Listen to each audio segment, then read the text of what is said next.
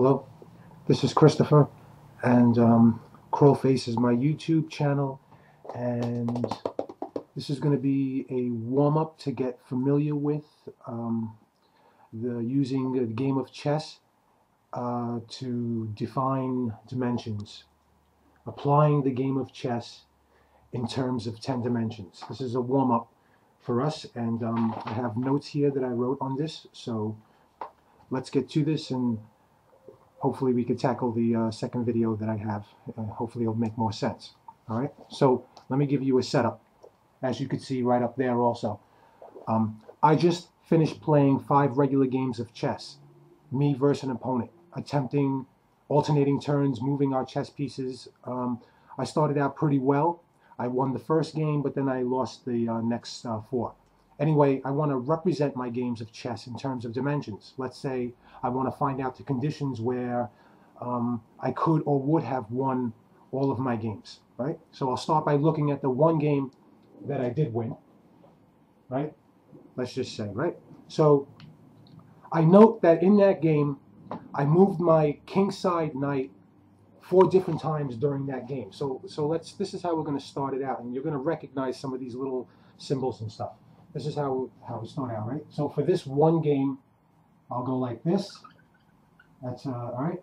And over here was the, that was the end, okay? This is the end of my game.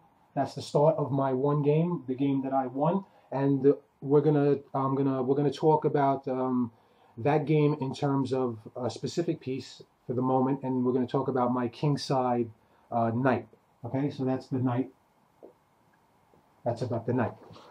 Now, let's see what I got here. Um, uh, I note that I moved my kingside knight four different times during that game. Okay? Uh, so figure about one, two, three, four. All right? I moved it four different times. Um, in 3D, I see each one of these moves one at a time. Right? In 3D, we see each one of these moves one at a time. There it is. Four moves. Uh, 4D, obviously, 4D is going to be all of the moves at once. That's what I see. In 4D, I see all of these moves at once. In 5D, I see all the possible moves of that knight for that one game. In five, all right, so that, that was uh, 3D, right? 3D. Here you see 4D, all of them at once, okay? So for 5D, okay, I would see all the possible moves. So here's the actual game I played, but I would also see the possible moves, okay? This is still the knight. This is still one game of chess. All right, and these are the possible endings of that one game of chess for the knight. These are examples of all, this would be 4Ds. See, these will all be 4D, 4D lines. Excuse me for a second. That's 5D.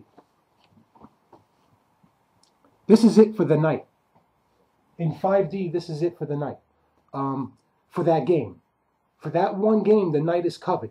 Even if things change, uh, for uh, because of other pieces, the effects and, and uh, possible results on that knight, okay, for that game are represented here in 5D. Um, so we then mark all its possibility as a 5D point, right? We're going to mark all of this as a 5D point. On this 5D point, okay, will be one point in 6D. It's going to be one point in a sixth dimension. Um, we look at 6D as an X amount of 5D.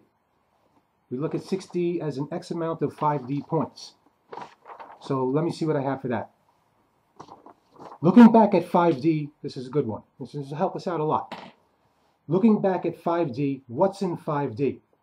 All possibility of the knight. But what if I was looking at the queen instead? Then 5D would be all possibility of the queen. Um, and that would go, that would be true for any piece. whatever piece I'm looking at, 5D is going to be all the possibilities of that one piece for this one game. Okay? Therefore, 6D, now let's, you know, we got an idea of what 5D is. Okay? There's your 5D. We understand it's all the possible moves for one particular piece in this one particular game. We were talking about the knight. Okay? 6D is going to contain, um, how do I put it? 6D will have all points of any one 5D point. 6D will have all points of any one 5D point. So, so remember, this is all possibilities of one piece. So, so we can go like this, right? That was the same as that was the same as when we had this line here, and we went like this, right? So imagine condense that all to a point. It looks like that. So this is what 6D would look like in in this uh, whiteboard uh, reality here. This is what 6D would look like. Okay? Each one of these little asterisk stars are pieces, and the lines are all their possibilities, all their possible moves for this one game. That's 6D.